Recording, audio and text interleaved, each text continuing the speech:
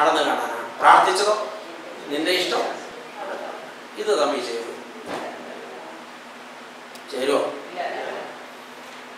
ഇതിപ്പോ ആരെ നന്നാവേണ്ട കർത്താവാണ് നമ്മളെ?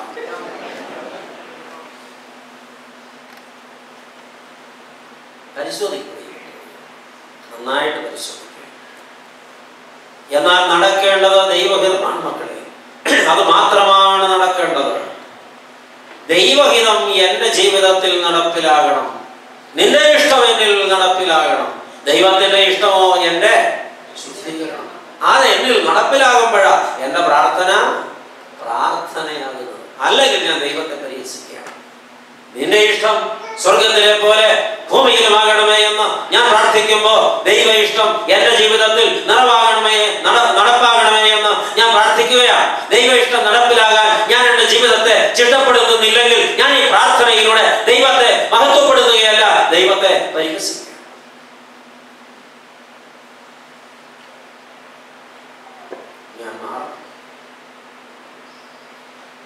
ദൈവഹിതമാണ് നടക്കേണ്ടത്. അത് മാത്രമാണ് അത് പലപ്പോഴും എന്റെ ഇഷ്ടത്തിന് നേരെ വിപരീതമായിരിക്കും. ദൈവ ഇഷ്ടം എന്റെ ഇഷ്ടത്തിന് നേരെ വിപരീതമായിരിക്കും. എന്റെ ഇഷ്ടം എന്റെ ഇഷ്ടപ്രകാരം എനിക്ക് ജീവിക്കണം ജീവിക്കണമെന്നുള്ളതാണ് അത്യാവശ്യമൊക്കെ കഴിക്കണം. നന്നായിട്ട് പകിട്ടോടെ ജീവിക്കണം. എല്ലാ സുഖസൗകര്യങ്ങളോടെയും ജീവിക്കണം. എനിക്ക് എന്നെ തന്നെ ചെല്ലുന്നിടത്തൊക്കെ നന്നായിട്ട് അങ്ങ് പ്രദർശിപ്പിക്കണം. ഞാൻ എവിടെ ചെന്നാലും എന്നെ നാലാൾ കാണണം അറിയണം. ഞാനിവിടെ വന്നിട്ടുണ്ടെന്ന് എല്ലാവരും തലകുലിക്ക് സമ്മതിക്കണം. ഇതൊക്കെയാണ് എന്റെ ഇഷ്ടം.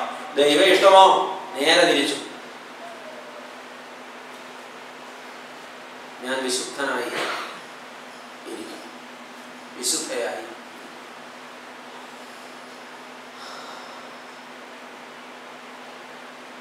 നമ്മുടെ പ്രാർത്ഥന പ്രാർത്ഥനയാവോ ആവോ മാറണ്ടേ നമ്മൾ മാറണ്ടേ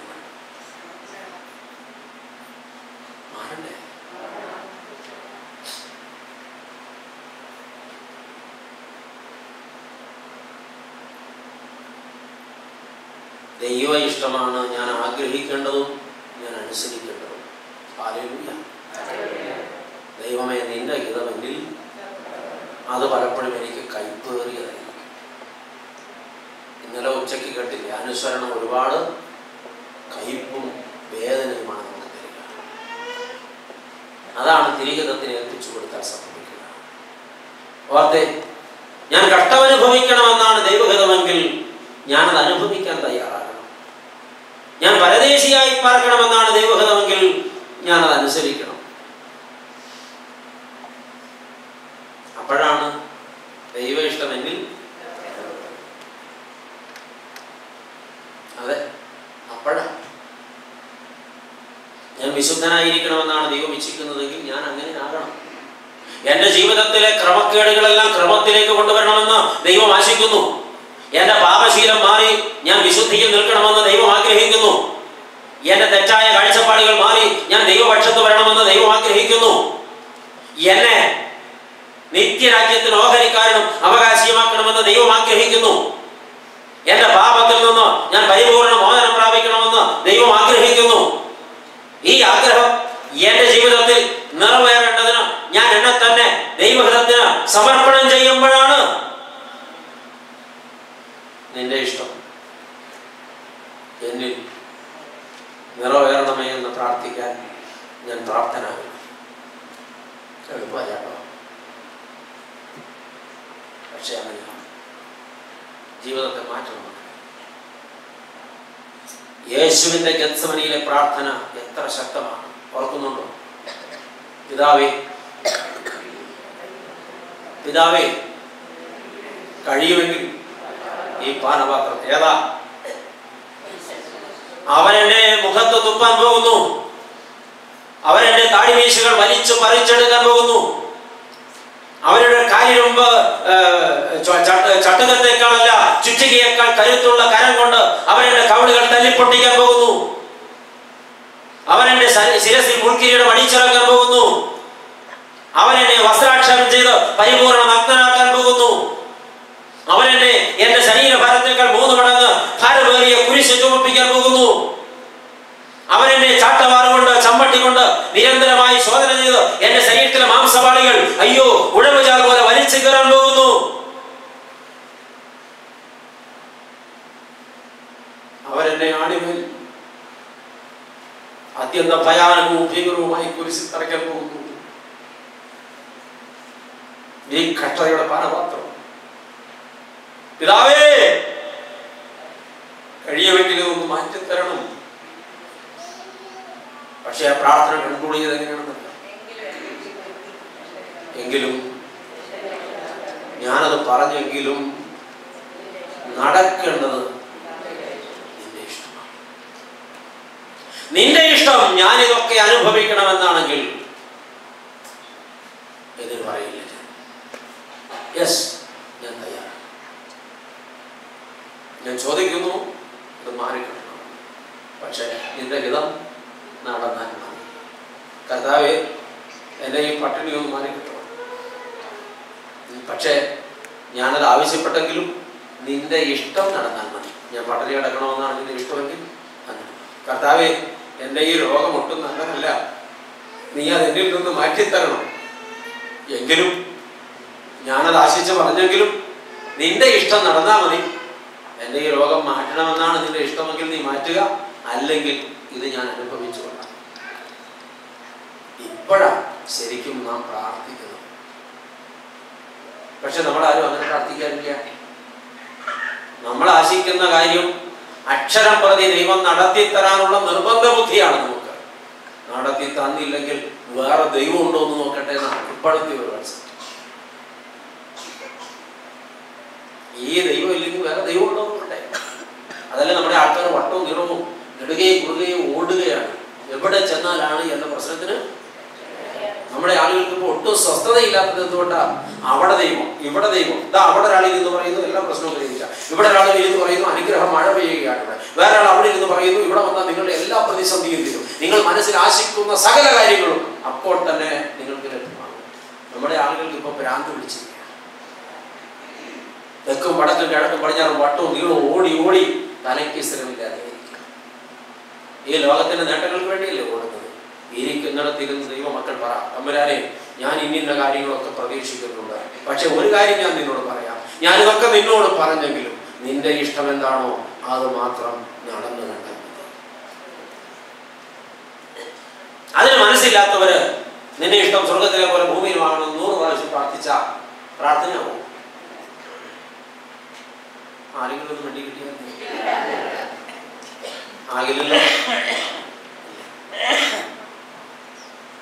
ഈ മനസ്സിൽ ഉറപ്പിച്ചു വെച്ച പല ചിന്തകളും ഒളിച്ചെഴുതുമ്പോഴുള്ള സംഘർഷമാണ് നിങ്ങളുടെ മുഖത്ത് ഞാൻ കാണുന്നത്. നിങ്ങൾ വല്ലാതെ അസ്വസ്ഥരായിരിക്കും. ഇന്ന് മൂന്നാമത്തെ ദിവസമല്ലേ അന്നേ ഇത്രയും അവശരായാൽ ആറാമത്തെ ദിവസം എന്താ സംഭവിക്കുക? ദൈവത്തിന് സ്തോത്രം. അല്ലെ ഞാൻ നിങ്ങളെ മർദ്ദിക്കുന്നുണ്ടോ. ഇത്രയും അവശത എന്റെ അച്ഛൻ രണ്ടടി വെച്ച് തന്നാൽ ഇത്രയും ഞങ്ങൾക്ക് നോവത്തില്ലായിരുന്നു.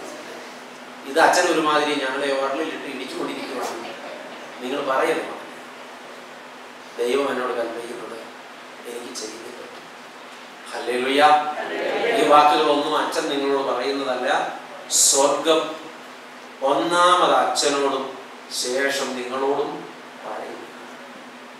നിങ്ങൾക്കറിയോ? ഓരോ പ്രസംഗവും പറഞ്ഞു തീരുമ്പോൾ എന്റെ ജീവിതം കുറെ കൂടെ പ്യൂരിഫൈഡ് ആവുന്നു. ഞാൻ കുറെ കൂടെ കണ്ടുപെടുന്നുണ്ട്. ഞാൻ കുറെ കൂടെ ദൈവത്തോടെ അടുത്ത് ചെല്ലുന്നുണ്ട് കാരണം പറയുന്നത് എന്നോടും നിങ്ങളോടും. ആമേൻ. ദൈവഹിതം നടപ്പിലാകുമ്പോൾ നിരാശപ്പെടുകയോ തുറവുറുക്കുകയോ ചെയ്യരുത്. തികഞ്ഞ സന്തോഷത്തോടെ അത് അംഗീകരിക്കണം. അല്ലേ ദൈവഹിതം നടപ്പിലാകുമ്പോ വെറുവെറുക്കരുത് പരാതിപ്പെടരുത് അസഹ്യത പ്രകടിപ്പിക്കരുത് പിന്മാറരുത് ഇനിയില്ലെന്ന് പറയരുത്. തികഞ്ഞ സന്തോഷത്തോടെ തികഞ്ഞ സ്തോത്രത്തോടെ അത് അംഗീകരിച്ച്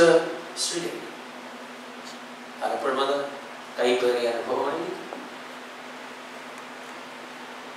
അബ്രഹാം പിതാവ് ദൈവഹിതം നിറവേറ്റാൻ സ്വന്തം മകനെയും കൊണ്ട് മോറിയാമല കാര്യ കഥ എന്നാലും പറഞ്ഞില്ലേ? കന്യകമർത്തമറിയാം അമ്മ ദൈവഹിതം നിറവേറ്റാൻ എന്തുമാത്രം അപമാനിതരായി എന്തുമാത്രം മുറിവേൽപ്പിക്കപ്പെട്ടു എന്നുള്ളത് ഇന്നലെ ചിന്തിച്ചു.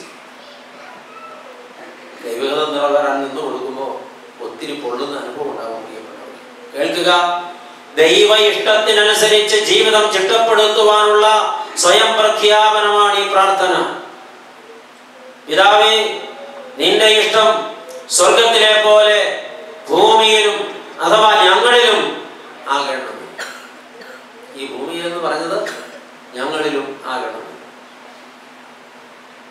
ദൈവ ഇഷ്ടം നിറവേറ്റപ്പെടുന്ന ഇടത്ത് ദൈവരാജ്യം സ്ഥാപിക്കപ്പെടുന്നു. ഹാലൂയ ദൈവ ഇഷ്ടം നിറവേറ്റപ്പെടുന്ന ഇടത്ത് ദൈവരാജ്യം സ്ഥാപിക്കപ്പെടുന്നു എന്ന ഒരു വലിയ സത്യം ഇതിൽ വെളിവായി വരുന്നു. എല്ലാവരുടെയും ശുദ്ധീകരണമാണ് ദൈവത്തിന്റെ ഇഷ്ടം. അതുപോലെ തന്നെ എല്ലാവരുടെയും സമ്പൂർണ രക്ഷയാണ് ദൈവത്തിന്റെ ഇവിടെ ഇരിക്കുന്ന ആരും ശിക്ഷിക്കപ്പെടരുതെന്ന് ദൈവം ആഗ്രഹിക്കുന്നു. എന്ന് വെച്ചാൽ ഇവിടെ ഇരിക്കുന്ന സകലരും രക്ഷ പ്രാപിക്കണമെന്ന് ദൈവം ആഗ്രഹിക്കുന്നു. എന്താണ് ഈ രക്ഷ? ആരാണ് രക്ഷിക്കപ്പെട്ടവർ? ശിക്ഷ മാറിക്കിട്ടിയവരാണ് രക്ഷപ്പെട്ടവർ. അതിന്റെ പേരാ രക്ഷ. എനിക്ക് ഭയങ്കര വിഷമം തോന്നുന്നുണ്ട് ഞാൻ ഉച്ചയ്ക്ക് പറഞ്ഞത് ഇവിടെ നടപ്പിലാവുന്ന തോന്നുന്നു ഇവിടെ ചില ആളുകൾ നിദ്ര പ്രാപിച്ചിരിക്കുന്നു.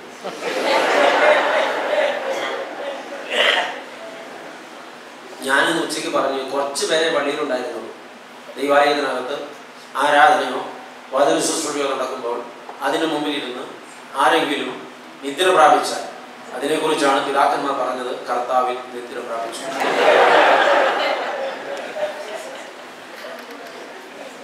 ഉച്ചയ്ക്ക് ഉണ്ടായിരുന്നത് പോലെ ഇപ്പോഴും മൂന്ന് ഇവിടെ റെഡി മൂന്ന് പേര് കർത്തോപ്പായി ഇവിടെ വിഷമിക്കൊന്നും വേണ്ട. പള്ളിയിൽ വെച്ച് കർത്താവിൽ നിന്ന് പ്രാപിച്ചാൽ തിരിച്ച് വീട്ടിൽ കൊണ്ടുപോകണമെന്നും ഒരു പ്രമാണമില്ല ഈ പരിപാടി നിർത്തിവെച്ചിട്ട് ആ പരിപാടി തുടങ്ങേണ്ടി വരുമോ? വരുമോ? എവിടെയോ എന്തോ തകരാറ് സംഭവിക്കുന്നത് പോലൊരു തോന്നൽ. ക്ഷമിക്കണം അച്ഛനോട്.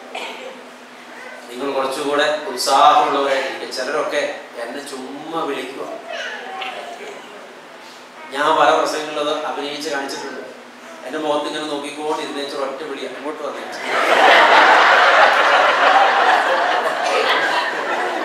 അപ്പൊ അച്ഛൻ വിചാരിക്കും എന്തോ അർജന്റ് കാര്യം പറയാം ഈ ആളോട് ചെന്ന് അത് ചോദിക്കാൻ നോക്കുമ്പോഴേ ഇപ്പുറത്തിരുന്ന് വേറെ ഇങ്ങോട്ട്.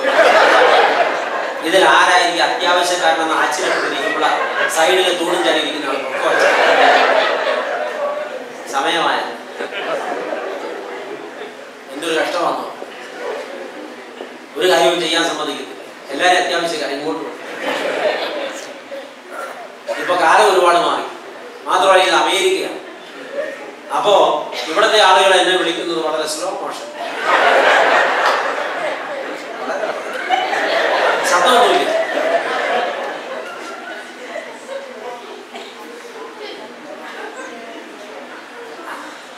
ഏകദേശമൊക്കെ നിദ്ര പോയിട്ടുണ്ട്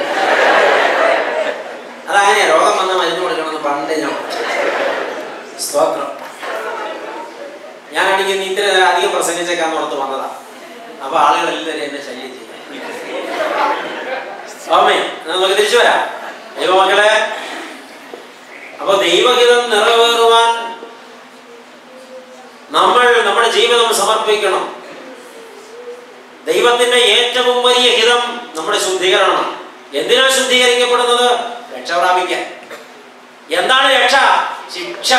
മാറിക്കിട്ടിയ അവസ്ഥയുടെ പേരാണ് രക്ഷ ഈ ശിക്ഷ വരുന്നത് എപ്പോഴാ? കുറ്റം ചെയ്യുമ്പോഴാ. പാപം. പാപത്തിന്റെ ശമ്പളം മരണം അതാണ് ശിക്ഷ.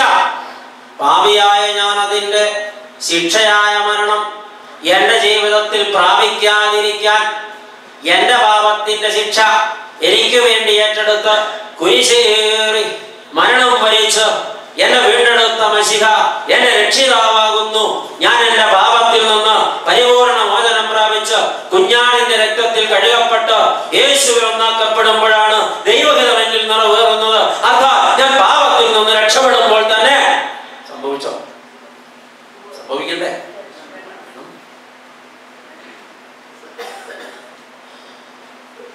ദൈവ ഇഷ്ടം നാം അനുസരിച്ച് നടപ്പിലാക്കുമ്പോൾ നാം വിശുദ്ധീകരിക്കപ്പെടുന്നു.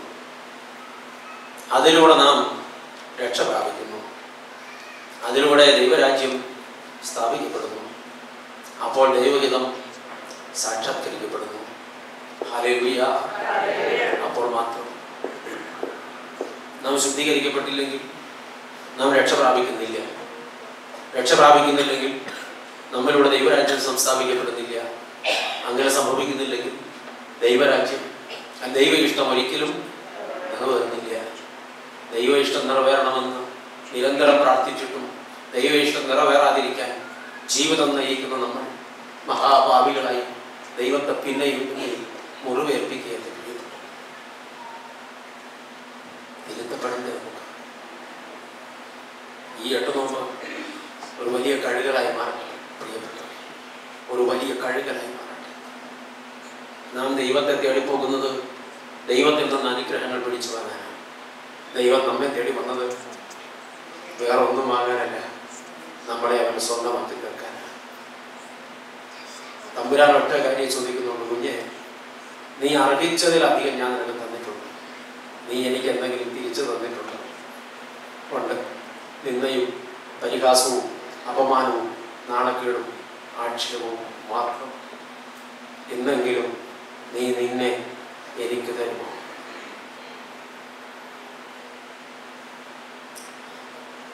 വിശുദ്ധീകരണം പ്രാപിക്കണം. ദൈവം എന്താണോ ഭൂമിയിൽ ചെയ്യുവാൻ താല്പര്യപ്പെടുന്നത്?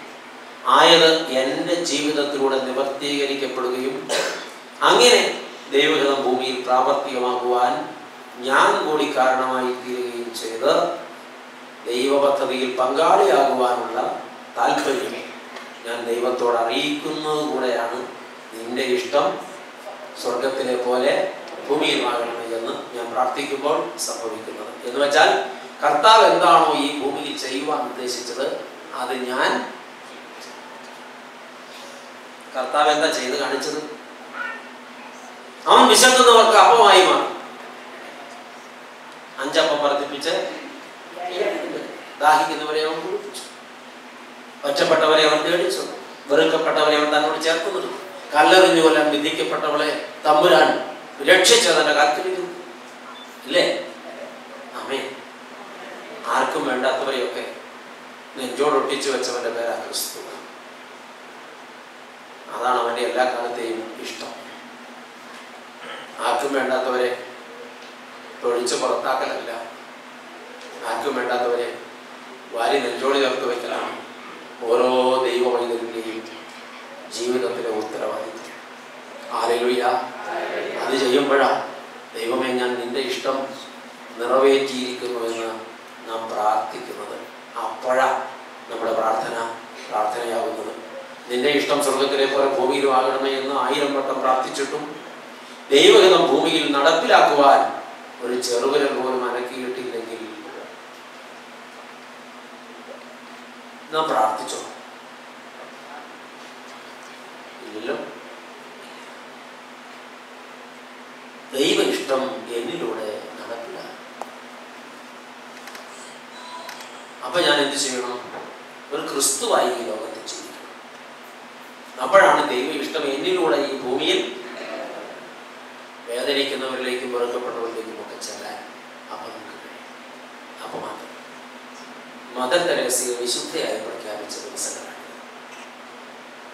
ആ മഹതിയെ കുറിച്ച് ഓർക്കുമ്പോൾ പലപ്പോഴും എനിക്ക് ആശ്ചര്യം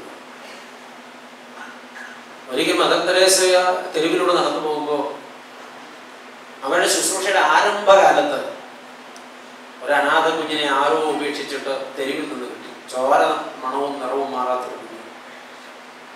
ഈ കുഞ്ഞിനെ വാരി നെഞ്ചോട് ചേർത്ത് പിടിച്ച് മുന്നോട്ട് നടക്കുമ്പോൾ ഈ സ്ത്രീ തമ്പുരാനോട് ചോദിച്ചു തമ്പുരാനെ എന്റെ കയ്യിൽ ഒന്നുമില്ലല്ലോ ഈ കുഞ്ഞിനെ പോറ്റാൻ നിന്റെ ഉള്ളിൽ ഒരു ജീവനുണ്ടല്ലോ ഒരു ആത്മാവുണ്ടല്ലോ. ഞാൻ എന്താ ചെയ്യുക എനിക്കൊരു സാധ്യതയുമില്ലല്ലോ അപ്പോഴാണ് ഒരു വലിയ കൊട്ടാരം കണ്ടത്.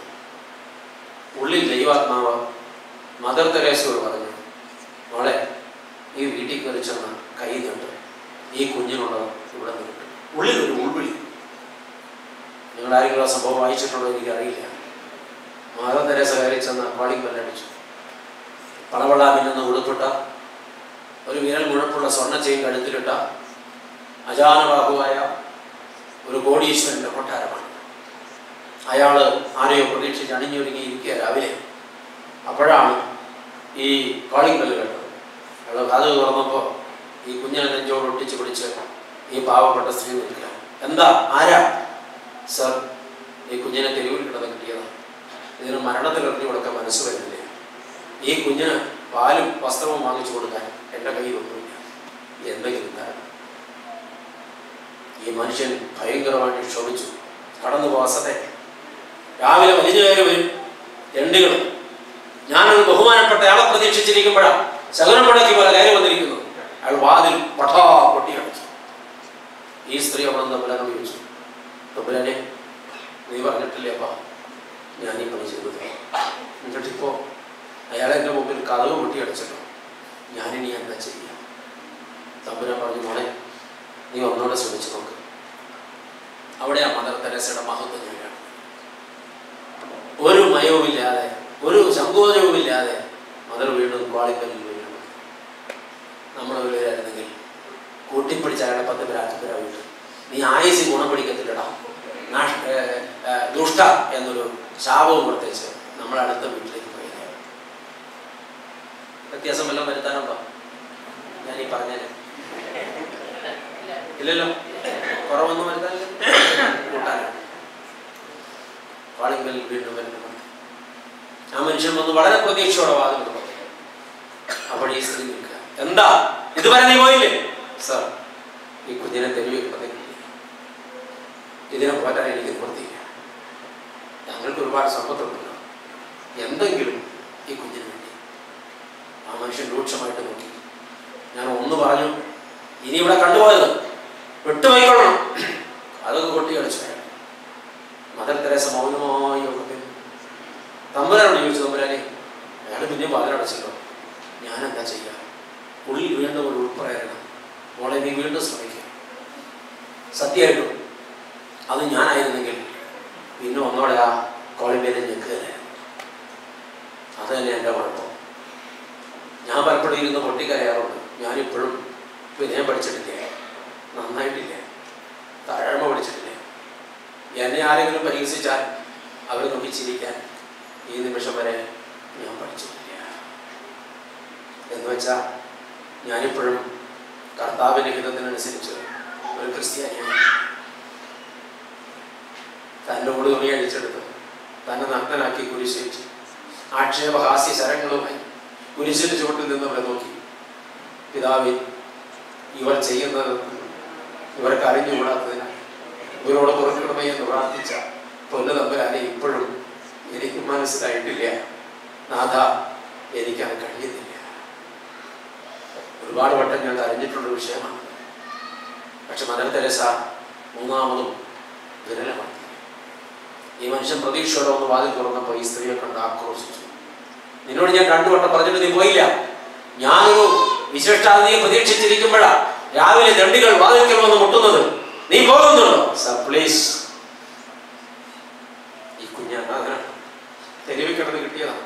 അതിനൊന്നും കൊടുത്തിട്ടില്ല. എന്തെങ്കിലും കിട്ടിയ പോകത്തുള്ളൂ. പ്ലീസ് സർ എന്നാ കൈ നീട്ട്. തെരേസ വലതുകാലം നീട്ടി പിടിച്ചു. ഈ മനുഷ്യൻ എന്താ ചെയ്തതെന്ന് അറിയാമോ? അയാളുടെ തറയിൽ കെട്ടിക്കിടന്ന ദുഷിച്ച കഫം മുഴുവനും കൂടെ കാർക്കിച്ചെടുത്ത് ആ മഹതിയുടെ മെല്ലിച്ച കരങ്ങളിലേക്ക് ഒരു കവിളന്ന് തൂക്കിക്കൊടുത്തു. ഇതാണ് നിന്റെ കയ്യിലിരിക്കുന്ന കുഞ്ഞിനെ സമ്മാനം. യാതൊരു ഭാവവ്യത്യാസവും കൂടാതെ ആ കൈ ചുരുട്ടി ഈ ഇടത് കയ്യിലിരുന്ന കുഞ്ഞിനെ വലത് കയ്യിലേക്ക് മാറ്റി ഒതുക്കി പിടിച്ചിട്ട് മദർ തെരേസ ഇടത് കൈ നീട്ടി. സർ താങ്കൾ തന്നത് എനിക്കുള്ളത് ആണ്. അതെനിക്ക് ധാരാളം മതി. പക്ഷേ കുഞ്ഞിനുള്ളത് ഇപ്പോഴും താങ്കൾ തന്നില്ല ആ മനുഷ്യൻ നിന്നിടത്ത് നാലില പോലെ പറച്ചു എന്റെ മുന്നിൽ നിൽക്കുന്ന ഈ സ്ത്രീ ആരാണ്? ഇവളൊരു മനുഷ്യ സ്ത്രീയാണ്. ആ മനുഷ്യനോട് പറഞ്ഞു നിൽക്കാം. ഞാനിപ്പോ വരാം. അകത്ത് പോയ അയാൾ നിമിഷങ്ങൾക്കുള്ളിൽ പുറത്തു പോകും. പതിനായിരം രൂപയുടെ ഒരു കെട്ട് നോട്ട് അന്ന് ഈ മഹതയുടെ ഇടത് കൈവളിയിൽ വെച്ച് കൊടുത്തിട്ട് പറഞ്ഞു എന്നോട് പുറക്കണം. നിങ്ങളൊരു മനുഷ്യ സ്ത്രീയല്ല നിങ്ങളൊരു ദേവതയാണ്. നിങ്ങളുടേതല്ലാത്തൊരു കുഞ്ഞിന് വേണ്ടിയാണ് നിങ്ങൾ തെണ്ടാനാണ് നിങ്ങൾ എന്റെ കണ്ണു തുറപ്പിച്ചിരിക്കുക ഇന്നു മുതൽ ഞാൻ മരിക്കുന്നത് വരെ നിങ്ങൾക്ക് എപ്പോഴും ഇവിടെ വരാം എന്തും ചോദിക്കാം. ഈ കാണുന്നത് മുഴുവനും ഞാൻ നിങ്ങൾക്ക് അയാൾ അത് തന്നെ നടപ്പിലാക്കി എന്നാണ് ഞാൻ വായിച്ചത്. ജീവിതകാലം മുഴുവൻ മദർ തെരേസയോടൊപ്പമായിരുന്നു അയാൾ. എന്തിനും ഏതിനും തയ്യാറായി. ഒരു കോടീശ്വരൻ മാനസാന്തരപ്പെട്ടത് മദർ തെരേസ ദൈവഹിതം നടപ്പിലാക്കാൻ തന്റെ ജീവിതം പങ്കിട്ടപ്പോഴാണ്. മദർ തെരേസയുടെ ജീവിതത്തിൽ ഞാൻ വായിച്ച വേറെ ഏടെ എന്നെ വീണ്ടും വല്ലാതെ വേദനിപ്പിച്ചു പ്രിയപ്പെട്ടത് ഒരു കുഷ്ഠരോഗി രണ്ട് കൈക്ക് വിരലുകളില്ല അയാൾക്ക് വിരലുകളില്ലാത്തത് കൊണ്ട് കരക്ക് കയറാനായിട്ട് പിടിക്കുമ്പോൾ പിടുത്തം കിട്ടില്ല. ഊർന്ന് വീണ്ടും ഓടയിൽ ചീഞ്ഞു പൊഴുത്ത് നാറുന്ന ഓടകളാണ് കൽക്കട്ട തെരുവിലെ ഓടകൾ. എത്ര വട്ടം ശ്രമിച്ചിട്ട് മൂടി പറ്റുന്നില്ല. ശരീരം മുഴുവൻ അഴുക്ക് പുരണ്ട് കറുത്ത് ഭയങ്കര ദുർഗത്വത്തിൽ മുങ്ങി ഈ മനുഷ്യൻ കിടന്ന് കരയ്ക്ക് കയറാൻ ശ്രമിക്കുക. ഇനിയും അയാൾക്ക് വയ്യ. ഇനി പിടുത്തം വിട്ടാൽ അയാൾ ഊർന്നി ഓടയിൽ ഒഴുകി മരിച്ചു പോകും. അപ്പോഴാണ് കണ്ടത്. മുട്ടിന്മേൽ കുത്തിയിരുന്ന തന്റെ രണ്ട് കൈ കൊണ്ടും ഈ മനുഷ്യനെ വലിച്ചു കയറ്റാൻ ശ്രമിക്കുക ഈ സ്ത്രീ. റോഡെ പോയ മുഴുവൻ ആളുകളോടും അമ്മ വിളിച്ചു പറഞ്ഞു ഒരു കൈ സഹായിക്കുക ഒരു പ്രാണനല്ലേ? കൊലയിൽ കളയുന്നല്ലോ. ആരും തിരിഞ്ഞു നോക്കി ഒരു ധനികനായ മനുഷ്യൻ ഇതിങ്ങനെ കണ്ടുകൊണ്ട് നിൽക്കുകയാണ്. അപ്പൊ ഈ മനുഷ്യൻ വിചാരിച്ചു ഈ ഓടയിൽ പോയ കുഷ്ഠരോഗി ഈ സ്ത്രീയുടെ ബന്ധുക്കളായിരിക്കും അല്ലെങ്കിൽ ഇത്രയും കഷ്ടപ്പെട്ട് മരിച്ചു കണ്ടിട്ട് കാര്യമില്ല. അടുത്ത് ചെന്ന് ചോദിച്ചു അവിടെ ഒരുവിധം മനുഷ്യൻ മോളിലിട്ടു. അടുത്ത ആ പുതു ടാപ്പിൽ നിന്ന് വെള്ളം കൊണ്ടുവന്ന് ഇയാളുടെ ദേഹം കഴുകി അമ്മ. എന്നിട്ട് അടുത്ത് പോയി കടയിൽ നിന്ന് ഉടുപ്പ് വാങ്ങിച്ചു കൊണ്ട് ഇയാളെ അമ്മ ഉടുപ്പിച്ചു ഇത്രയുമായപ്പോ ഈ ധനികൻ ചോദിച്ചു നിങ്ങളുടെ സ്വന്തക്കാരാരെങ്കിലും ആയിരിക്കില്ലേ? ഏയ് എന്റെ ആരുമല്ല. ഇപ്പോഴാണ് ഞാൻ ഇയാളെ കണ്ടത്. അത് ശരി. ഒരു റിക്ഷാ വണ്ടിക്ക് കൈ കാണിച്ചു പത്ത് വണ്ടി കടന്നുപോയി. പക്ഷെ ഒരാൾ കഴിവ് തോന്നി. അയാൾ നിർത്തി. ഈ റിക്ഷാ വണ്ടിയിൽ ആ വലിച്ചു കയറ്റിക്കൊണ്ട് അമ്മ പോയപ്പോ ഈ നോക്കി നിന്ന മനുഷ്യനൊരു ആശങ്ക. തന്റെ ആരുമല്ലാത്ത തെരുവിൽ കിടന്ന് ചീഞ്ഞു കൊടുത്ത കുഷ്ഠരോഗിയെ ഓടയിൽ നിന്ന് വലിച്ചു കെട്ടി കുളിപ്പിച്ച് തുണി കുളിപ്പിച്ച് വണ്ടി കയറ്റിക്കൊണ്ട് ഈ സ്ത്രീ എങ്ങോട്ടാ അതിനെ കൊണ്ടുപോകുന്നു. എന്താണ് ഇവരുടെ പരിപാടി? ഒന്നറിയാം. അടുത്ത രക്ഷയ്ക്ക് ഇയാളെ തൊട്ട് പറഞ്ഞു ഈ ആശ്രമത്തിൽ ചെല്ലുമ്പോൾ കുഷ്ഠരോഗിയെ കിടത്തി ചൂടുവെള്ളവും ലോഷവും ഉപയോഗിച്ച് അയാളുടെ വടുക്കളെല്ലാം കഴുകി ഓരോ പുഴുക്കളെയും സൂക്ഷ്മതയോടെ ഉറക്കി മാറ്റി ഈ മനുഷ്യനെ ശുശ്രൂഷിക്കണം അടുത്ത് പോയി നിന്നിട്ട് ഈ മനുഷ്യൻ സൂക്ഷ്മം നോക്കുമ്പോൾ അമ്മ എവിടെ നോക്കി ചിരിച്ചു. ആ മനുഷ്യൻ ആ മഹതിയോട് പറഞ്ഞു അതെ നിങ്ങളുടെ ആരുമല്ലെന്നല്ലേ പറഞ്ഞു ഇയാൾ അല്ല പിന്നെ നിങ്ങൾ എന്താ ഇങ്ങനെ ചെയ്യുന്നത്? എനിക്കിത് ചെയ്തേ പറ്റൂ. അതെ എനിക്ക് ഒരു ലക്ഷം രൂപ തരാന്ന് പറഞ്ഞാലും ഞാൻ ഈ പണി ചെയ്യുന്നില്ല എന്ന് പറഞ്ഞു അപ്പോ മദർ തെരേസ പറഞ്ഞു എനിക്ക് ഒരു കോടി രൂപ തരാമെന്ന് പറഞ്ഞാലും ഞാൻ ഈ പണി ചെയ്യത്തില്ല. പിന്നെ പിന്നെ എന്നാത്തിനാ കാശ് കിട്ടത്തില്ലെങ്കിൽ പിന്നെ എന്നാത്തിനാ? മദർ പറഞ്ഞു. ഈ കിടക്കുന്നയാൾ എന്റെ കർത്താവ്. തെരുവിലൂടെ നടന്നു പോകുമ്പോൾ ഓടയിൽ നിന്ന് കര കയറാൻ എത്ര ശ്രമിച്ചിട്ടും കഴിയാതെ ഊർന്നു പോകുന്നതായി ഞാൻ കണ്ട ഈ ആൾ എന്റെ കർത്താവാണ്. ഞാൻ യേശുവിനെ കഴിയാണ് കണ്ടത് ഞാനിപ്പോൾ ശുശ്രൂഷിക്കുന്ന ഒരു കുഷ്ഠരോഗിയല്ല. എനിക്ക് വേണ്ടി കുരിശിൽ മരിച്ച എന്റെ യേശു. ആ മനുഷ്യനെ കൊണ്ടുപോയി പറഞ്ഞു അമ്മേ മാപ്പ്. എനിക്കിപ്പോൾ മനസ്സിലായി. നിങ്ങൾ ആരാണെന്നും നിങ്ങൾ ചെയ്യുന്നത് എന്താണ്? ഹാലയൊഴിയ ദൈവത്തിന്റെ ഇഷ്ടം എന്നിലൂടെ എന്റെ നടപടികളിലൂടെ എന്റെ പ്രവൃത്തികളിലൂടെ ഈ ഭൂമിയിൽ നടപ്പിലാകുമ്പോഴാണ് ദൈവ ഇഷ്ടം ഇവിടെ നടപ്പിലായിട്ടുണ്ട്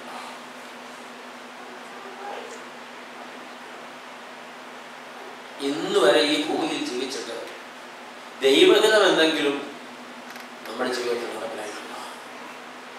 നമ്മളെ കൊണ്ട് നടപ്പിലായിട്ടുണ്ടോ? ദൈവം നമുക്ക് ഒരുപാട് സാധ്യതകൾ തന്നല്ലോ. സാഹചര്യങ്ങൾ തന്നല്ലോ. ജോലി തന്നല്ലോ. വരുമാനങ്ങൾ തന്നല്ലോ. വീടുകൾ പലത് തന്നല്ലോ. ബിസിനസ് സാമ്രാജ്യം തന്നല്ലോ. ദൈവ ഇഷ്ടം പലതും നമ്മുടെ ജീവിതത്തിലൂടെ ഉത്തരം മുട്ടി പോകും ചിലപ്പോൾ. കർത്താവിന് മുമ്പിൽ നിൽക്കുന്ന ഒരു ദിവസം വരുമല്ലോ നിങ്ങൾ വായിച്ചിട്ടുണ്ടോ? മത്തായി എഴുതിയ രക്ഷാസുവിശേഷം ഇരുപത്തി അഞ്ചാമത്തെ അധ്യായം മുപ്പത്തി ഒന്ന് മുതൽ നാൽപ്പത്തി ആറ് വരെ തിരുവചനങ്ങൾ. ഞാൻ ഒരുപാട് മീറ്റിങ്ങുകൾക്ക് ആളുകൾക്ക് കൊടുത്തിട്ടുള്ള ഹോംവർക്കാണത്. മത്തായി എഴുതിയ രക്ഷാസുവിശേഷം ഇരുപത്തി അഞ്ചാം അധ്യായം മുപ്പത്തി ഒന്ന് മുതൽ നാൽപ്പത്തി ആറ് വരെ തിരുവചനങ്ങൾ. വീട്ടിൽ പോയിട്ട് മനസ്സിലാകുന്നത് വരെ വായിക്കണം.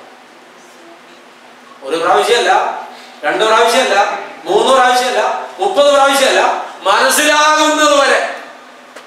നല്ലവണ്ണം മനസ്സിലാകുന്നത് വരെ ആ പാസയിൽ നിങ്ങൾ വായിക്കണം. എന്താ അവിടെ എഴുതിയിട്ടുള്ളതെന്ന് ന്യായവിധിയുടെ രംഗമാണ് അവൻ തന്റെ മുമ്പിൽ വന്നവരെ ചെമ്മരിയാടുകളെയും കോലാടുകളെയും വേർതിരിക്കും പോലെ അന്ന് വേർതിരിക്കും. ചെമ്മരിയാടുകളെ തന്റെ വലത്തും കോലാടുകളെ തന്റെ ഇടത്തും.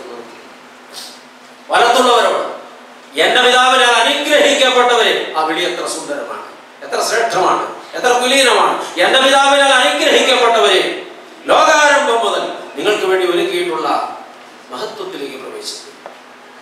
എന്തുകൊണ്ടെന്നാൽ എനിക്ക് വിശന്നു നിങ്ങൾ ഭക്ഷിക്കുന്നു എനിക്ക് ദാഹിച്ചു നിങ്ങൾ കുടിപ്പറഞ്ഞു ഞാൻ നഗ്നായിരുന്നു നിങ്ങൾ എന്നെ ഉടുപ്പിച്ചു ഞാൻ രോഗിയായിരുന്നു നിങ്ങൾ എന്നെ ശുശ്രൂഷിച്ചു. ഞാൻ തടവിലായിരുന്നു നിങ്ങൾ എന്നെ സന്ദർശിച്ചു അപ്പോൾ അവനെ വലതു നിൽക്കുന്ന നീതിമാന്മാർ അവനോട് തമ്പുരാനെ എപ്പോഴാ എപ്പോഴാ നിന്നെ ഇങ്ങനെയൊക്കെ കണ്ടിട്ട് ഞങ്ങൾ നിന്നെ സഹായിച്ചത് ശുശ്രൂഷിച്ചത്? മക്കളെ ഈ പാവപ്പെട്ടവരിൽ ഒരുത്തിന് നിങ്ങൾ ചെയ്തത് മുഴുവൻ എനിക്ക് വേണ്ടി ചെയ്തതാണ് അതെനിക്ക് വേണ്ടി ചെയ്തതാണ്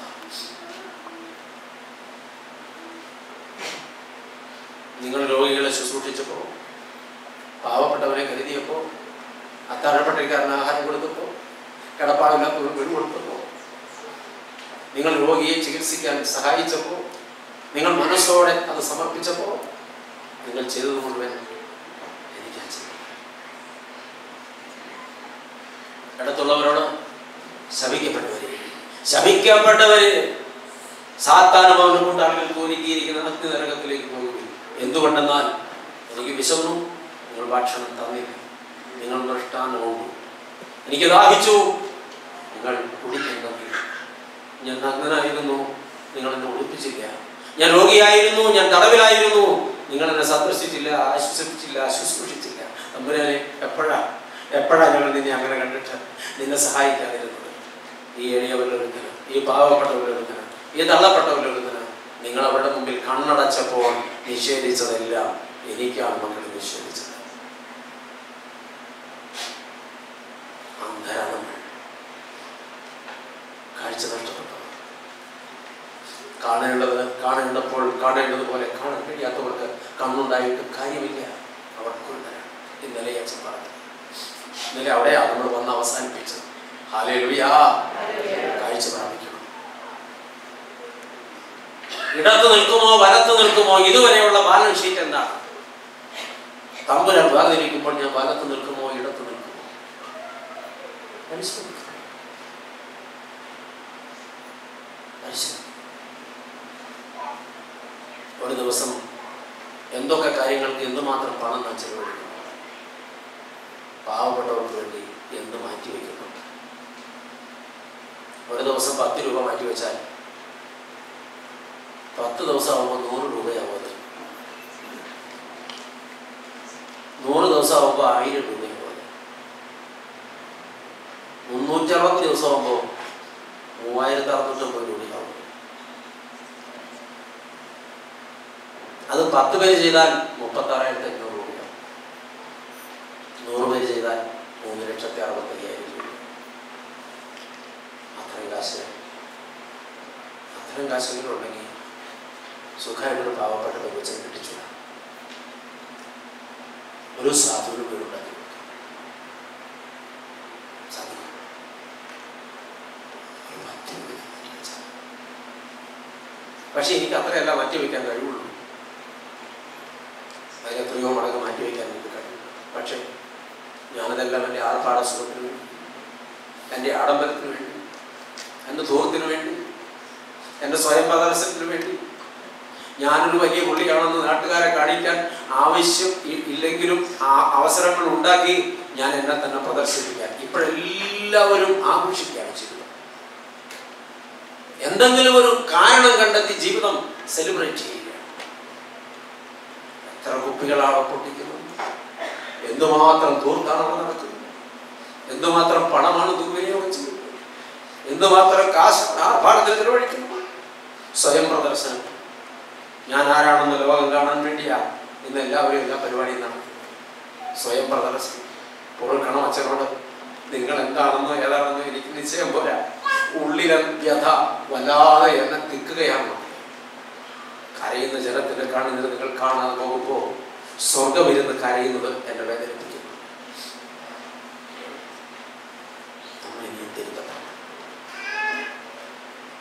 നിന്റെ ഇഷ്ടം സ്വർഗത്തിലെ പോലെ എന്നിലൂടെ ഭൂമിയിൽ നിറവേറണമെന്ന് നമുക്ക് പ്രാർത്ഥിക്കാം യോഗ്യതയുണ്ടോ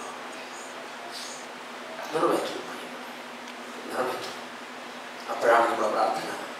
പ്രാർത്ഥന. ഹാലൂയ മടുത്തോ? നീ നിത്യസമയം കൂടെ പ്രസംഗിക്കാൻ പോവാൻ കാരണം പ്രാർത്ഥന മുഴുവൻ നിങ്ങളെ പഠിപ്പിച്ചു വിട്ടില്ലെങ്കിൽ നിങ്ങൾ എന്നെ കുറ്റപ്പെടുത്തും. ഞാൻ ഇവിടുന്ന് പോയി കഴിയുമ്പോൾ നിങ്ങൾ എന്നെ കുറ്റപ്പെടുത്തിയാൽ അതും നിങ്ങൾക്ക് ഒരു കുഴപ്പമായി വരും. അതുകൊണ്ട് അച്ഛൻ ഒരു ഒരു വർഷം കൂടെ. അപ്പോൾ ദൈവത്തെ സംബന്ധിക്കുന്ന നാല് സംഗതികൾ നാം ചിന്തിച്ചു കഴിഞ്ഞു അല്ലേ? സ്വർഗസ്ഥനായ ഞങ്ങളുടെ പിതാവേ നിന്റെ നാമം പരിശുദ്ധമാക്കപ്പെടണമേ.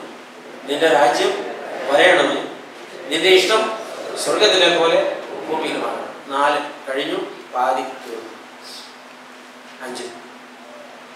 അത് മനുഷ്യനെ സംബന്ധിക്കുന്ന യാചനകളിൽ ഒന്നാമത്തേതാണ്. ഉത്സാഹമില്ലാതെ ഇരിക്കരുത്. എനിക്ക് ആകെ പ്രയാസമായി തുടങ്ങി. ദൈവത്തിന് സ്തോത്രം. ഞങ്ങൾക്ക് ആവശ്യമുള്ള അപ്പം എങ്ങനെയാണ്?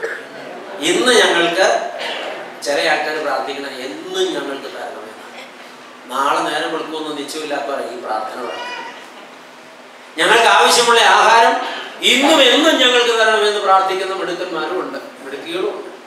പക്ഷെ കർത്താവ് അങ്ങനെ ഒന്നും പഠിപ്പിച്ചിട്ടില്ല. കർത്താവ് എന്താ പഠിപ്പിച്ചത്? ഞങ്ങൾക്ക് ആവശ്യമുള്ള അപ്പം ഇന്ന് ഞങ്ങൾക്ക് തരണമേ. ഇന്ന് അപ്പത്തിന് വേണ്ടിയുള്ള അപേക്ഷ. അതാണ് ഈ വാചകം. അപ്പത്തിനു വേണ്ടിയുള്ള ജീവന്റെ നിലനിൽപ്പ് അപ്പവുമായി ബന്ധപ്പെട്ടതാണ്. ആഹാരം കിട്ടിയില്ലെങ്കിൽ ജീവൻ പോകും അല്ലേ? ഇല്ലേ? നിങ്ങളാ ഗൂഗിളിൽ കയറിയിട്ട സോമാലിയ എത്യോപ്യ ഒക്കെ ഒന്ന് അടിച്ചു അപ്പൊ നിങ്ങൾക്ക് ശരിക്കും മനസ്സിലാവും. ആഹാരത്തിന്റെ വില എന്താണ്? സൊമാലിയ ഒരു വിധം രക്ഷപ്പെട്ടു. പക്ഷെ എത്യോപ്യ? അതിനപ്പുറത്തുള്ള ചില രാജ്യങ്ങൾ വലിയ ഒരു മനുഷ്യനോളം വലിപ്പമുള്ള ഉറുമ്പുകളെ പോലെയാണ് അവിടുത്തെ മനുഷ്യർ തെരുവിൽ നടക്കുന്നത്. രണ്ട് കാര്യം നടക്കാൻ പറ്റാതെ. കറുത്ത് ചുരുണ്ട്. ഒന്നും തിന്നാനില്ലാഞ്ഞിട്ട് നിലത്ത് കിടക്കുന്ന കടലാസ് കഷ്ണമെടുത്ത് വായിലിട്ട് ചവച്ചരച്ച് പ്രിയപ്പെട്ടവരെ നമുക്ക് ചിന്തിക്കാൻ പോലും പറ്റാത്തതാണ് അപ്പോ ജീവന്റെ നിലനിൽപ്പ് അപ്പവുമായി അപ്പമില്ലാതെ വന്നാൽ ജീവൻ നഷ്ടപ്പെടും. ഉറപ്പാണ് നമുക്ക് അപ്പത്തിന് മുട്ടില്ലല്ലോ അപ്പം കിട്ടാതെ വന്നാൽ ജീവൻ നിങ്ങളുടെ ജീവിതത്തിൽ എന്തെങ്കിലും വിശന്നിട്ടുണ്ടോ ഇല്ല. വിശന്നിട്ടില്ലാത്ത ഒരാൾക്ക് വിശക്കുന്നവന്റെ വേദന മനസ്സിലാവില്ല. അത് വിശക്കുന്നവനെ മനസ്സിലാവും. എനിക്കൊരു അനുഭവം പറയാനുണ്ട്. ഞാൻ ഈ തിരുവനന്തപുരം പട്ടണത്തിൽ ഒരു കോഴ്സ് ചെയ്തുകൊണ്ടിരിക്കുന്ന സമയത്ത് ഒരു ദിവസം ഉച്ച കഴിഞ്ഞ് എന്റെ സുഹൃത്തുക്കളോട് കൂടെ ഞാൻ ഞങ്ങൾ ഒരു ഒരു പ്രത്യേക ബാല്യത്തിൽ ഇങ്ങനെ പോവുക സത്യം പറഞ്ഞാൽ ഞങ്ങൾ സിനിമ കാണാൻ പോവുക അന്ന് ക്ലാസ്സില്ല. അപ്പൊ എന്റെ കയ്യിൽ പൈസ ഇല്ല കൂട്ടുകാരുടെ കാര്യമായിട്ട് പൈസ ഒന്നുമില്ല അവർ പറഞ്ഞു നമുക്ക് നടന്നു പോവാം. സമയം വൈകിയതുകൊണ്ട് ഞങ്ങളുടെ ഇടപഴകികൾ ഭയങ്കര ശീഘ്രമായിട്ട് നടക്കുക. ഒത്തിരി കൊല്ലം മുമ്പത്തെ കാര്യം പറയുന്നത്. പ്രിയപ്പെട്ടവരെ ആയിരത്തി തൊള്ളായിരത്തി എൺപത്തി ഒന്നിൽ അപ്പൊ ഇങ്ങനെ നടന്നു പോകുമ്പോ പെട്ടെന്ന് ഉച്ച കഴിഞ്ഞ് രണ്ടു മണിയായിട്ടുണ്ട്. ഞാൻ ഒരു നിമിഷം സ്റ്റക്കായി പോയി.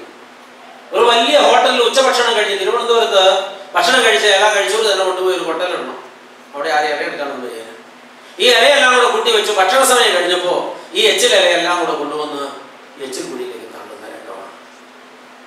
ഇത് കണ്ടുകൊണ്ട് ഈ ശബ്ദം കേട്ട് ഞാനിങ്ങനെ എത്തി നോക്കി. മതിൽ കെട്ടിയിട്ടുണ്ട്. ഒരു ടെലഫോൺ പോസ്റ്റിൽ പിടിച്ചുകൊണ്ട് നിന്ന് ഞാനിങ്ങനെ എത്തി നോക്കിയപ്പോൾ കണ്ട കാഴ്ച. ഈ കുഴിയുടെ മൂലയ്ക്കിൽ ഈ കൊട്ടയുടെ വരവ് കാത്തിരുന്ന ഒരു അഞ്ചെട്ട് പട്ടികൾ ചെറുതും വലുതുമായിട്ട് പാഞ്ഞു ചെന്ന് മൂക്കുകൊണ്ടും കൈകൊണ്ടും മാന്തി വെച്ചിൽ തിന്നാണ് സ്വാഭാവികം. ഒരതിശയോക്തിയും അതിനകത്ത് പറയാനില്ല. അവരത് തന്നെയാണ് തിന്നുന്നത്. പക്ഷെ സെക്കൻഡുകൾക്കുള്ളിൽ മറ്റൊരു കാഴ്ച കണ്ടു. ഈ കുഴിയുടെ മൂലയ്ക്കൽ പതുങ്ങിക്കുടിയിരുന്ന എട്ട് കുഞ്ഞുങ്ങൾ മനുഷ്യ കുഞ്ഞുങ്ങൾ. ഏറ്റവും പ്രായം കുറഞ്ഞ കുഞ്ഞിന് ഒന്നര വയസ്സുണ്ടാവും. ഏറ്റവും പ്രായം കൂടിയ കുഞ്ഞിന് എട്ട് വയസ്സുണ്ട് ആൺകുട്ടികളും പെൺകുട്ടികളും ഉണ്ട് ഒറ്റ എണ്ണത്തിന്റെ അരയിൽ നൂൽ ബന്ധമില്ല.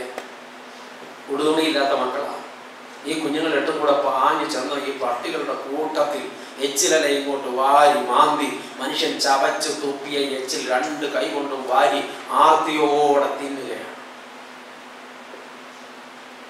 ശരീരം മുഴുവനും വരച്ചു കണ്ണ് നിറഞ്ഞിട്ടൊന്നും കാണാൻ വയ്യാതെ. ഞാൻ വല്ലാതെ അസ്വസ്ഥനായി. ദൈവമേ എന്താ കാണുന്നത്? പക്ഷേ ഈ കൊച്ചു കുഞ്ഞിന് ഈ ആർത്തിക്കാരുടെ കൂട്ടത്തിൽ ഇടിച്ച് കയറി ഒന്നും കിട്ടുന്നില്ല. ഒന്നര വയസ്സ് കാണും അതിന്? ഒരു വലിയ പട്ടിയുടെ കാലിന്റെ ഇടയ്ക്ക് കൂടെ കൈയിട്ട് പറയാല ഈ കൊച്ചിന് വലിച്ചെടുക്കും.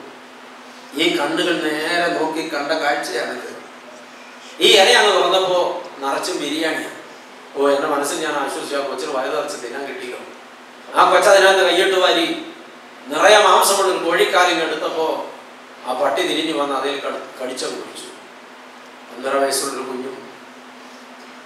ഒരു കൂറ്റൻ പട്ടിയും കൂടെ ഒരു കോഴിക്കാരന്റെ വലി കൂടുമ്പോ ഒരു ഹോട്ടലിന്റെ എച്ചി കുഴി കാണുമ്പോ ഞാൻ നിങ്ങൾ വേദന എന്താണെന്ന് അറിഞ്ഞിട്ടില്ല. വിശപ്പൊരു ഭ്രാന്താണ് പ്രിയപ്പെട്ടത് വിശന്നാണുണ്ടല്ലോ മനുഷ്യൻ മനുഷ്യനെ പോലും കൊന്നുതിന്നു പക്ഷെ നമുക്കാർക്കും ജീവിതത്തിൽ നിന്ന് ഒരു വിശന്നിട്ടില്ലല്ലേ ഇനി ഒരു ഇഞ്ച് മുന്നോട്ട് പോകാൻ പറ്റിയില്ല എനിക്ക്. അന്ന് ഞാനൊരു കുട്ടിയാണ് യൗവനത്തിലേക്ക് ചുവട് വയ്ക്കുക. ഞാൻ തിരിഞ്ഞു നിന്നു. ഞാൻ തിരിഞ്ഞങ്ങ് നടന്നു. കൂട്ടുകാരി വെച്ച് നീ അവിടെ പോവാ? ഞാൻ പറഞ്ഞു ഞാൻ ഇന്ന് വരുന്നില്ല. ഫസ്റ്റ് മുറിയിൽ ചെന്ന് ഞാൻ കവിടുന്ന് കിടന്നിട്ട് എനിക്ക് എഴുതിക്കാൻ പറ്റുന്നില്ല. ഈ കാഴ്ച അത്രയ്ക്കും എന്നെ വേദനിപ്പിക്കുകയാണ്. ഞാനിങ്ങനെ കിടന്നോർത്തു വിശപ്പിന് ഇത്രയും വലിയ വേദനയുണ്ട്. എന്റെ വീട്ടിൽ ദാരിദ്ര്യമൊക്കെ ഉണ്ടായിരുന്നു പക്ഷേ കാച്ചിലോ കപ്പയോ വാഴമാണോ എന്തെങ്കിലും കാണും. വിശന്നിരിക്കേണ്ടി വന്നിട്ടില്ല വിശന്നാൽ ഇത്രയും വേദന എടുക്കുമോ വിശന്ന മനുഷ്യൻ ചെയ്യുമോ? വിശപ്പ് എന്താണ് അറിയാം ഞാനൊരു തീരുമാനമെടുത്തു മൂന്ന് ദിവസത്തേക്ക് ഒരു പച്ച വെള്ളം കുടിക്കില്ല കൂട്ടുകാരൻ ചോദിച്ചു നിനക്ക് ഭ്രാന്താവും. ഞാൻ പറഞ്ഞു ഭ്രാന്ത് വരാതിരിക്കാനുള്ള ഒരു അന്നോ ദിവസം കഴിഞ്ഞപ്പോഴത്തേക്കും എനിക്ക് എന്നെ നിയന്ത്രിക്കാൻ പറ്റാതെയായി. പത്തോ ഇരുപതോ വയസ്സുള്ള അല്ലെങ്കിൽ പതിനേഴോ പതിനെട്ടോ വയസ്സുള്ള ആൺകുട്ടിയുടെ കഥ നിങ്ങൾ ഓർത്തേ? പച്ചവെള്ളം പോലും രണ്ടു ദിവസമായപ്പോഴത്തേക്കും എനിക്ക് ശരിക്കും വല്ലാതെ ഒരു അസ്വസ്ഥതയായി. മൂന്ന് ദിവസം പൂർത്തിയാകുമ്പോഴേക്കും ഞാൻ ആ എന്തും ചെയ്യാവുന്ന ഒരവസ്ഥ അപ്പോൾ ഒരാഴ്ചയോളം പട്ടിണി കിടക്കുന്ന ആളുകളുടെ അവസ്ഥ നോക്കും അപ്പം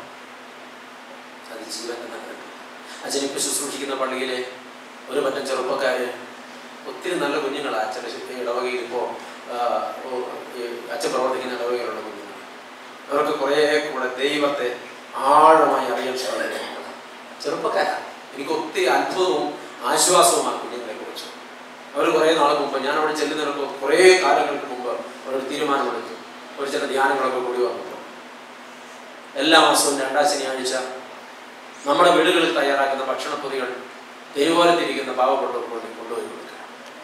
ഒരു വണ്ടി എറണാകുളം ടൗണിലേക്ക് പോകും വേറൊരു വണ്ടി കോട്ടയം പട്ടണത്തിലേക്ക് പോകും. പോകുന്ന വഴിക്ക് തെരുവിലിരിക്കുന്ന വിശക്കുന്നവർക്കൊക്കെ ഭക്ഷണപ്പൊതി കൊടുക്കും അച്ഛൻ ചെല്ലുമ്പോൾ കൊടുത്തുകൊണ്ടിരുന്നത് ഏതാണ്ട് എഴുപത്തഞ്ച് എൺപത് പൊതികളാണ്. ഞാൻ ആളുകളോട് എപ്പോഴും പറയുന്നത് കൊണ്ട് ഇപ്പോൾ ലാസ്റ്റ് അവസാനത്തെ രണ്ടാം ശനിയാഴ്ച നൂറ്റി മുപ്പത് പൊതികളുമായിട്ട് അവർ പോയത് അവർ തിരിച്ചു വന്ന് പറയുന്ന കഥകൾ കേട്ടാൽ സൈക്കിൾ അറിയും തെരുവിന്റെ ഓരങ്ങളിലൊക്കെ ഇരിക്കുന്ന പാവപ്പെട്ടവരെ ഈ ഭക്ഷണ പൊതി സന്തോഷത്തോടെ കുഞ്ഞുങ്ങൾ കൊണ്ട് കൊടുക്കുമ്പോൾ വാങ്ങിച്ച് രണ്ട് കണ്ണിൽ വെച്ചിട്ട് അവർ പൊട്ടിക്കരയും. രണ്ട് ദിവസമായിട്ടൊന്നും കഴിച്ചിട്ടില്ല. സഹിക്കാൻ പറ്റാതെ ഇരിക്കുമ്പോഴാണ് നിങ്ങൾ വന്നത്. ദൈവം അനുഗ്രഹിക്കുമ്പോൾ ഈ നൂറ്റി മുപ്പത് പൊതി പന്ത്രണ്ട് മണിക്ക് മുമ്പ് പിടിച്ച് കുറച്ച് കൊണ്ടുപോകുന്ന ആൾക്കാർ വിശപ്പ്. നമുക്കറിയില്ല. നമ്മളതിന്റെ വിലയെ മനസ്സിലാക്കിയിട്ടില്ല. അപ്പമില്ലാതെ വന്നാൽ ജീവൻ നഷ്ടപ്പെടും. അപ്പം ജീവനുമായി ബന്ധപ്പെട്ടതാണ് കുറേ കാലത്തേക്കുള്ള ഭക്ഷണമല്ല നമ്മൾ ദൈവത്തോട് ചോദിക്കുന്നത്. അന്നന്ന് വേണ്ട. അതെ ഇന്ന് ഒത്തിരി പേർക്ക് സമ്പാദിച്ചു കൂട്ടി വയ്ക്കാൻ കഴിയാത്തത് കൊണ്ട് സംഘർഷം ബാധിച്ചിട്ട് പരാതി പിടിച്ചിരിക്കുക ഇന്ന് ഒരുപാട് വീടുകളിൽ ലഹള ഉണ്ടാവാൻ കാരണം എന്താണെന്നറിയോ? ബാലൻസ് ഇല്ല എന്നുള്ളതാണ് നിങ്ങൾ എന്തിനാ ജീവിക്കണേ? എന്തിനാ നടക്കണേ? ഈ കണ്ട കാലം മുഴുവൻ അധ്വാനിച്ചിട്ട് എന്താ ബാക്കിയുള്ളേ? ഒരിക്കലും മനുഷ്യൻ സങ്കടപ്പെട്ടെന്നോട് പറഞ്ഞു. അച്ഛനെയും പ്രശ്നങ്ങളൊക്കെ പറയുമ്പോൾ പാവങ്ങൾക്ക് എന്തെങ്കിലും കൊടുക്കണമെന്ന് എനിക്ക് ആശയുണ്ട് അച്ഛാ. എന്തേ? ഞാൻ എന്തെങ്കിലും കൊടുക്കാന്ന് പറഞ്ഞാൽ വീട്ടിൽ വീട്ടുകാരത്തേക്ക് അന്ന് പ്രാന്ത. അവൾ വീട്ടിലുള്ള രണ്ട് പാത്രമെങ്കിലും അന്ന് തല്ലി പൊട്ടി. എന്നിട്ട് അവൾ എന്റെ തല തല്ലി പൊട്ടിക്കാതിരിക്കാൻ ഞാൻ വീട്ടിൽ ഓടി രക്ഷപ്പെടും. ധർമ്മം കൊടുക്കാൻ സമ്മതിക്കില്ല അച്ഛൻ എന്റെ ഭാര്യ. എന്നൊരു മനുഷ്യൻ എന്നോട് പൊട്ടിക്കരഞ്ഞു ഞാൻ ഓർക്കുന്നു തിരിച്ചും സംഭവിക്കുന്നു. ദൈവമക്കളെ ഒന്നോർത്തെ സമ്പാദിച്ച് കൂട്ടി വയ്ക്കാൻ പറ്റാത്തതുകൊണ്ട് ബാങ്ക് ബാലൻസ് ഇല്ലാത്തത് ഓർത്തിട്ട് കിടന്നിട്ട് ഉറക്കം വരാതെ തലയ്ക്ക് സ്ഥിരമില്ലാണ്ടായ ആളുകളുണ്ട് നമ്മുടെ കൂട്ടത്തിൽ. പക്ഷേ ദാനം ചെയ്യാൻ നമുക്കറിയില്ല ഭൗതിക ജീവൻ ഭൗതിക ഭക്ഷണവുമായി ബന്ധപ്പെട്ടിരിക്കുന്നു. ആത്മീക ജീവനോ ആത്മീക ഭക്ഷണവുമായി വളരെ നിസ്വാർത്ഥമായ ഒരു പ്രാർത്ഥനയാണ് കർത്താവ് നമ്മളെ പഠിപ്പിച്ചത്. എന്താണെന്നറിയോ? എനിക്ക് വേണ്ട ആഹാരമല്ല ഞാൻ ചോദിച്ചത്. പിന്നെ ഞങ്ങൾക്ക് വേണ്ട ആഹാരം. അപ്പൊ പ്രിയപ്പെട്ടവരെ ഈ ചോദ്യത്തിനകത്ത് ഒരു വലിയ സത്യം പറഞ്ഞു ഞാൻ ഇപ്പോൾ ദൈവത്തോട് ചോദിച്ചത് എന്താ ഞങ്ങൾക്ക് ആവശ്യമുള്ള അപ്പം ഇന്ന് ഞങ്ങൾക്ക് അപ്പോ ഞാൻ ആർക്കൊക്കെ വേണ്ടിയാ പ്രാർത്ഥിച്ചത് എല്ലാവർക്കും വേണ്ടിയാ. അപ്പൊ അവർക്കൊക്കെ അപ്പം ഉണ്ടോ എന്ന് ഞാൻ അന്വേഷിക്കണ്ടേ വേണ്ടേ? അല്ലെങ്കിൽ ഇത് പ്രാർത്ഥനയാവോ. ദൈവമക്കളെ നിസ്വാർത്ഥമായ പ്രാർത്ഥന. എല്ലാവർക്കും വേണ്ടി. സഹജീവികളിൽ ഒരാൾ ആഹാരമില്ലാതിരിക്കരുത് എന്ന പ്രഖ്യാപനമാണ് ഈ പ്രാർത്ഥന. എനിക്ക് ആവശ്യത്തിലധികം ദൈവം തന്നിട്ടുണ്ടെങ്കിൽ എന്റെ ആവശ്യത്തിൽ കവിഞ്ഞുള്ളത് ആവശ്യക്കാരൻ അർഹതപ്പെട്ടതാണ് വിശക്കുന്നവന്. അതാണ് എന്റെ പ്രഖ്യാപനം. ഇത് കൊടുക്കാനുള്ള മനസ്സാണ് ഈ പ്രാർത്ഥന. സത്യത്തിൽ ഈ പ്രാർത്ഥന പഠിച്ചു കഴിയുമ്പോഴത്തേക്കും നിങ്ങൾ പ്രാർത്ഥന നിർത്തുക ഇത് വലിയ കുഴപ്പം പിടിച്ച ഒരു പ്രാർത്ഥനയാണെന്ന് നിങ്ങൾക്ക് ഇപ്പോൾ അതൊരു അച്ഛനെന്തോ കുഴപ്പമുണ്ടെന്ന് തോന്നുന്നു ഇല്ലല്ലോ? അല്ലേ നന്നായി. ഞങ്ങൾക്ക് ആവശ്യമുള്ള അപ്പം തരുവാൻ നിരന്തരം പ്രാർത്ഥിക്കുന്ന വ്യക്തിക്ക് തന്റെ മതിൽക്കെട്ടിന് പുറത്ത് വിശക്കുന്നവന്റെ നിലവിളി കേൾക്കാനുള്ള കാതില്ലെങ്കിൽ അത് പ്രാർത്ഥനയില്ല. സ്വന്തം വീട്ടിൽ ഉപയോഗശൂന്യമായി നാട് നശിപ്പി ഉപയോഗശൂന്യമായ ആഹാര വസ്തുക്കൾ നാട് നശിപ്പിക്കാൻ തെരുവിലെറിയുന്നവരാണ് മലയാളികൾ. ഇവിടെ വന്നുകൊണ്ട് ഇവിടെ തെരുവിലും അറിഞ്ഞ വിവരം. അല്ലെങ്കിൽ നമ്മൾ തന്നെയാണ് നമ്മുടെ തന്നെ നമ്മൾ ഇപ്പൊ നമ്മുടെ ഒരു പ്രത്യേക പർച്ചേസിങ് സിസ്റ്റം അത് വേൾഡ് വൈഡ് ആയിട്ട് ഇപ്പോഴങ്ങനെ പണ്ടൊക്കെ ഒരു സാധനം വാങ്ങാൻ കടയിൽ ചെന്നാൽ നമ്മുടെ കയ്യിൽ ലിസ്റ്റ് ഉണ്ടാവും. അതിൽ ഒരു അഞ്ചു അരി എടുത്ത് അയാൾ അരി പൊഞ്ഞു കെട്ടി മാറ്റി വെച്ചു. ഒരു അര കിലോ പയർ പയർ മാറ്റി വെച്ചു. ഒരു മുന്നൂറ് വെളിച്ചെണ്ണ. നമ്മൾ ചോദിക്കുന്ന സാധനം മാത്രമേ അവിടെ നിന്ന് പോരുടെ നമുക്ക് ആവശ്യമുള്ളതാണ് നമ്മൾ വാങ്ങുന്നുള്ളൂ. ഇങ്ങനൊരു കാലം ഓർമ്മയുണ്ടോ ഉണ്ടെന്ന് പറഞ്ഞത് ഇങ്ങനൊരു കാലം. ഓർമ്മയുണ്ട്. ഇതായിരുന്നു പണ്ട് നമ്മൾ പർച്ചേസ് ചെയ്തിരുന്ന രീതി. ഇപ്പോഴെന്താ? നമ്മൾ അങ്ങോട്ട് ചെല്ലുമ്പോ വലിയ രണ്ടാളെ കയറ്റി ഇരുത്താൻ പറ്റിയ വലിയ ട്രോളി പിന്നെ ഇങ്ങനെ ഓപ്പൺ ആയിട്ട് കിടക്കാം. നമ്മൾ അങ്ങോട്ട് പോകുമ്പോ എന്തോ ഒരു സംഗതി കാണാം നമുക്ക് ആവശ്യമുള്ളൊന്നും അല്ല ഇത്. ഇങ്ങനെ ഡിസ്പ്ലേ ചെയ്തിരിക്കുക അപ്പോ നമ്മളെ നമ്മളെ കീശയിലാക്കാനുള്ള പരസ്യം. രണ്ടെടുത്താൽ ഒന്ന് ഒന്നെടുത്താൽ ഒന്ന് ഫ്രീ എന്ന് കേട്ട മലയാളി ഫ്ലാറ്റ് ആവും. യാതൊരു ധർമ്മമില്ല ഏ അത് ഒന്നെടുത്താൽ ഒന്ന് ഫ്രീയാ രണ്ടെണ്ണം കൊടുത്തു അപ്പൊ നാലെണ്ണം കിട്ടും. എടുത്തു. ഇത് എന്നതാണ് ഇത് എന്തിനാണ്? ഇത് തിന്നാൻ കൊള്ളാവുന്നതാണ്. നമുക്ക് ആവശ്യമുള്ളതാണ്. നമ്മൾ അന്വേഷിക്കുന്നില്ല പോരട്ടെ. പ്രിയപ്പെട്ടവരെ അപ്പുറം ചെല്ലുമ്പോൾ മൂന്ന്. രണ്ടെടുത്താൽ ഒന്ന് ഫ്രീ അതും പറക്കി നാല്. പ്രിയപ്പെട്ടവരെ ഇങ്ങനെ ഈ ബാസ്ക്കറ്റ് നിറച്ചു. സത്യത്തിൽ നമുക്ക് പരമാവധി ഒരു അഞ്ഞൂറ് രൂപയുടെ പർച്ചേസ് ആവശ്യമുള്ളൂ. നമ്മൾ അയ്യായിരം രൂപയുടെ സാധനം നിങ്ങളൊന്ന് മനസ്സിലാക്കി നോക്കുക അയ്യായിരം രൂപയുടെ സാധനം മേടിച്ചു. ബില്ലൊക്കെ പേ ചെയ്ത് തള്ളിക്കൊണ്ടുവന്ന് നമ്മുടെ ഡിക്കി തുറന്ന് അതിനകത്തേക്ക് ഇതാ കൊടുക്കുകയും വീട്ടിലോട്ട് വന്നിട്ട് ആളോളം പൊക്കത്തിലുള്ള മോർച്ചറി. രണ്ടും മൂന്നും മോർച്ചറിയുള്ള വീടുകളുണ്ട്. ഇതിനകത്തോട്ട് ഈ സാധനം എല്ലാം കയറ്റി അങ്ങോട്ട് ഫില്ല് ചെയ്തു. ഈ സാധനത്തിന്റെ ആവശ്യം എന്താണെന്നോ ഇതെങ്ങനെയാ പ്രിപ്പയർ ചെയ്യേണ്ടതെന്നോ എങ്ങനെയാ തിന്നേണ്ടതെന്നോ ഇത് എപ്പോഴാ തിന്നേണ്ടതെന്നോ നമുക്കറിയില്ല. തിന്നാനുള്ള നേരവും രണ്ടു മൂന്ന് ആഴ്ച കഴിഞ്ഞ് ഈ മോർച്ചറി തുറന്നപ്പോ ഒരു ദുർഗന്ധം അപ്പൊ ഇത് എന്താ സംഭവം അറിയാൻ ഓരോന്നോരോന്ന് പരിശോധിച്ച് നോക്കുമ്പോൾ സംഭവം എക്സ്പെയർ ചെയ്യാം.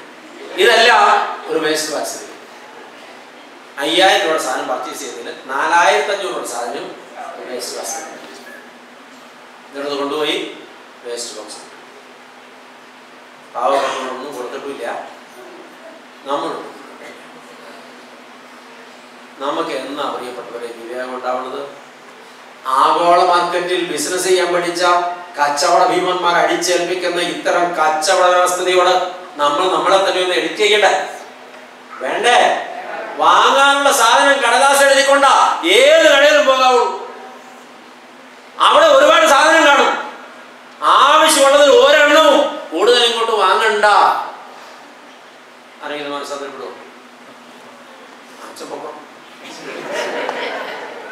ചേട്ടൻ പ്രസംഗിക്കാൻ വന്ന അച്ഛൻ കച്ചവടം പറ്റി ഇനി എനിക്ക് അതിനും വലിയൊരു ഞെട്ടൽ ഇങ്ങനെ വല്ല ഷോപ്പ് നടത്തണം വല്ലവരും കൂടി ഞാൻ താമസിക്കുന്ന വീട്ടിൽ നിന്ന് പോകുന്നു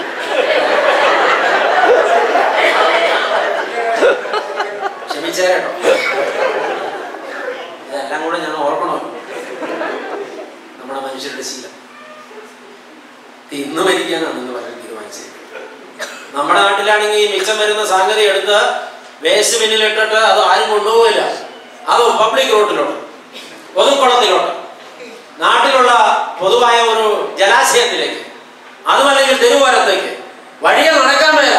പ്രിയപ്പെട്ടവർ ഒരു ദിവസം അതിരാവിലെ ഞാനൊരു സ്ഥലത്തേക്ക് ഡ്രൈവ് ചെയ്ത് പോകുമ്പോൾ എന്റെ മുമ്പേ പോകുന്ന രണ്ട് കാറുകൾ ഒന്ന് ബി എം ഡബ്ല്യു ഒന്ന് ബെൻസ് ഈ രണ്ട് കാറുകളും ടൗണിലേക്ക് കയറുന്നതിന് തൊട്ട് മുമ്പ് നിർത്തി രണ്ട് രണ്ട് ചാക്ക് കെട്ട പുറത്തേക്ക് വരുന്നു ഞാൻ ഞെട്ടിപ്പോയി. അടുത്ത് കൊണ്ടുപോയി നോക്കുമ്പോൾ വേസ്റ്റാ അവന്റെ വീട്ടിലെ വേസ്റ്റ് പബ്ലിക് റോഡിൽ കൊടുത്തിട്ട് സഞ്ചരിക്കുന്ന വലിയ വില കൂടിയ വണ്ടിയല്ല പക്ഷെ വിവേകത്തിന് കണ്ണു കാണിക്കത്തില്ല നാട് ദിവസം ഇറങ്ങിയിരിക്കുന്ന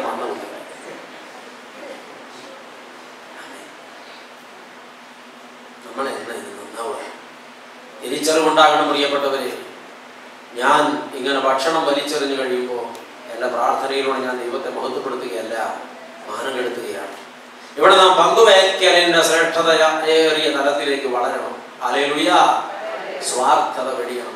നിത്യജീവനും ജീവദാതാവുമായ ദൈവത്തിൽ നിന്നത്രേ നാം ജീവൻ പ്രാപിക്കുന്നത്. ജീവൻ നിലനിർത്തുവാനുള്ള ആഹാരവും ദൈവം തന്നെയാണ് ദിവരിയോസിന്റെ തീരത്ത് അഞ്ചപ്പം കൈവശമിരുന്ന ബാലകൻ അത് യേശുവിന്റെ കയ്യിൽ കൊടുത്തപ്പോ തനിക്ക് തൃപ്തിയാവോളം കിട്ടി. അവിടെ വന്നിരുന്ന മുഴുവൻ ആളുകൾക്കും തൃപ്തിയാവോളം കിട്ടി. മിച്ചം വന്നത് ശിഷ്യന്മാർക്കും കിട്ടി. പന്ത്രണ്ട് കൊണ്ട ഈ അപ്പം മിച്ചം വന്നപ്പോ പന്ത്രണ്ട് കൊട്ട കൃത്യമായിട്ട് വരാൻ എന്താ? എന്താ അപ്പൊ ശിഷ്യന്മാര് പാവങ്ങൾ ഈ പണി മുഴുവൻ എടുത്തിട്ട് വീട്ടിൽ പോകുമ്പോ കുറച്ച് കൂടെ കൊണ്ടുപോട്ടെ എന്ന് അന്നേരം വിചാരിച്ചു. എന്നാ അപ്പൊ തന്ന പയ്യൻ ഒരു കൊട്ട കൊടുത്തില്ല. എന്താ കർത്താവ് ഈ പന്ത്രണ്ട് കൊട്ട എടുത്ത് കാരണം? ഒറ്റ കാര്യമുള്ളൂ ശിഷ്യന്മാർക്ക് ഈ പന്ത്രണ്ട് കൊട്ട കൊടുത്തിട്ട് കർത്താവ് പറഞ്ഞു അതെ ഇനി മേലാൽ വിശക്കുന്ന ഒരാൾക്കും അപ്പം കൊടുക്കാതിരിക്കരുത്. നിങ്ങൾ കൊടുത്തോളാം.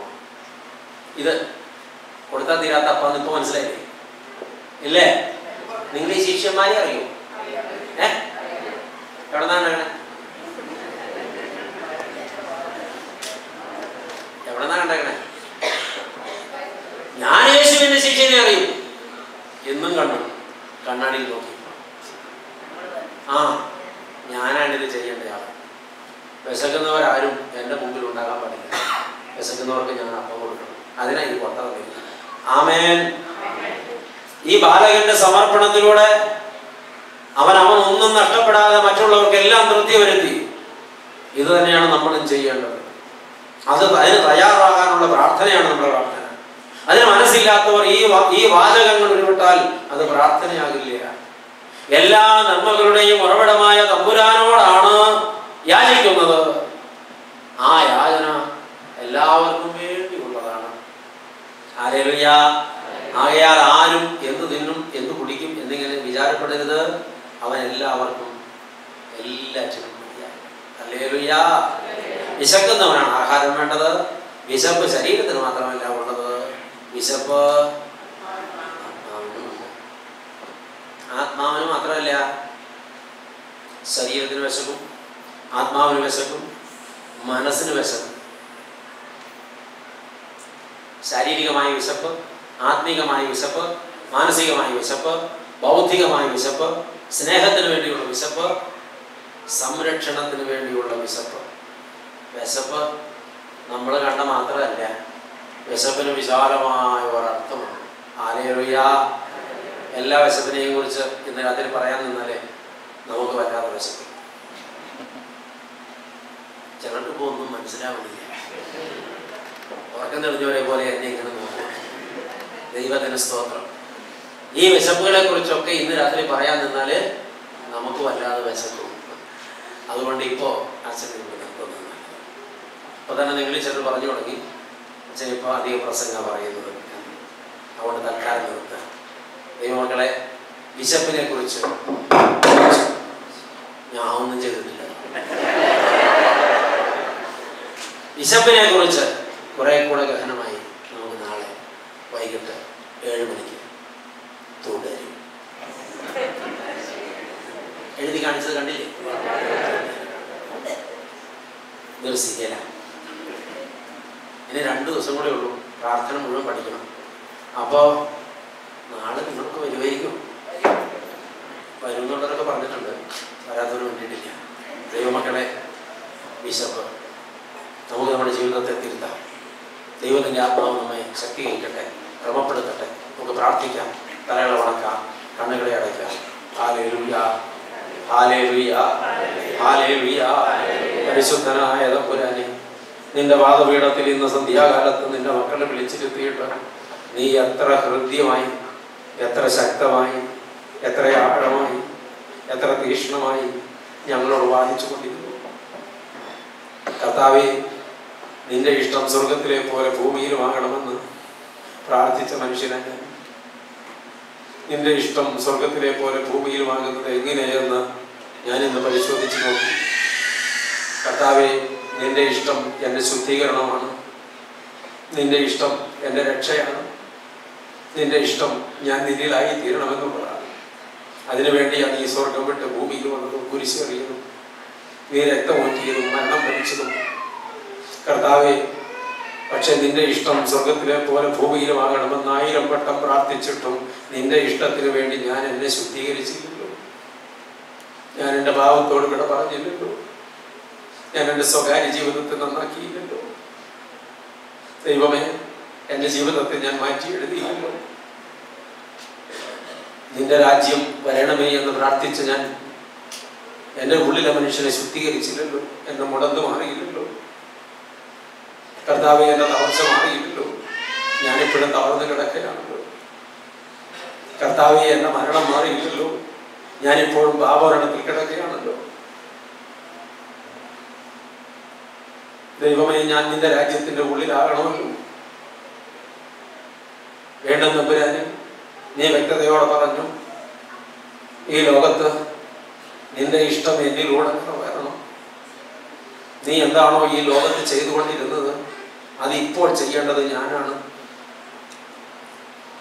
ദൈവമേ അന്ത്യനായ വിധി നാളിൽ നിന്റെ മുമ്പിൽ ഉത്തരം മുട്ടി നിൽപ്പാനോ ഇടതുവശത്തേക്ക് മാറ്റി നിർത്തപ്പെടാനോ ശമിക്കപ്പെട്ടവനെ എന്ന് വിളി കേൾക്കാനോ എനിക്കിടയാകരുത്. വലതുവശത്ത് നിൽപ്പാൻ വേണ്ടത് ഞാൻ കരുതണം. എന്റെ ജീവിതത്തെ തിരുത്തണം ക്രമപ്പെടുത്തണം. ഇന്ന് വേണ്ട ആഹാരം ഇന്ന്